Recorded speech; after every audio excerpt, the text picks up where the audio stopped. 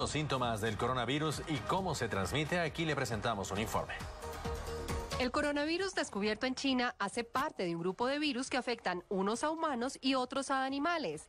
En este caso, el nuevo virus pasó de un animal a un humano, pero además mutó y ahora se transmite de persona a persona cuando un enfermo tose, habla o estornuda. Ese es el alto riesgo de contagio. Por ser un virus nuevo para los humanos, el cuerpo no lo reconoce y no tiene defensas para enfrentarlo.